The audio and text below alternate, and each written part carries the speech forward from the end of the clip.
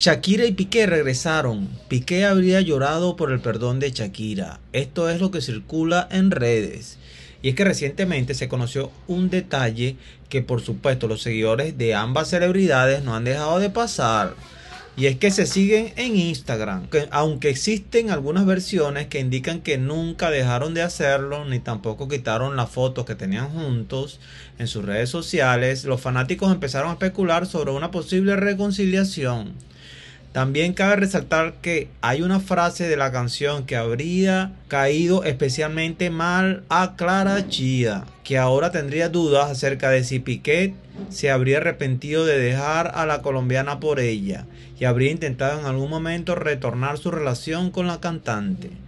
También revela Shakira que Gerard Piqué le lloró en busca de su perdón, según la canción que recientemente es tendencia. Pero recientemente Jordi Martín aseguró que Piqué y Clara están más enamorados que nunca.